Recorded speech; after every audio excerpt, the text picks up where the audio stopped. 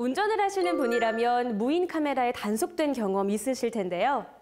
교통범칙금을 인터넷으로 간편하게 확인하고 납부할 수 있는 교통조사 예약 시스템이 있습니다. 바로 교통민원인에게 편의를 제공하는 이파인인데요. 함께 만나보시죠.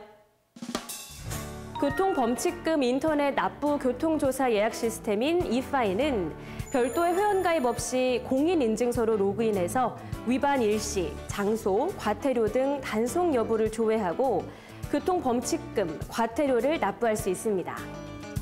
미납 범칙금, 미납 과태료, 벌점, 운전면허 정보 등을 조회할 수 있으며 운전 경력 증명서와 교통사고 사실 확인원 등의 민원 서류를 인터넷에서 발급받을 수 있습니다.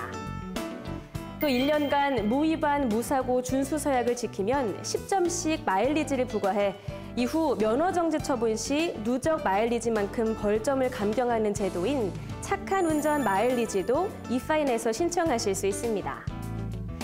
사이트에 접속해서 확인하는 것이 번거롭다면 이파인 홈페이지에서 무인 카메라에 단속이 됐을 경우 문자로 통지해주는 문자 알림 서비스 신청을 하시면 되는데요. 이때 별도의 링크가 있는 문자 메시지는 범칙금 과태료를 사칭하는 스미싱 메시지므로 클릭하지 마세요. 운전자들에게 필요한 정보를 제공해주는 이파인. 하지만 가장 중요한 것은 운전자들이 교통법규를 잘 준수하는 것이 아닐까요? 운전자 여러분, 오늘도 안전 운전하시길 바랍니다.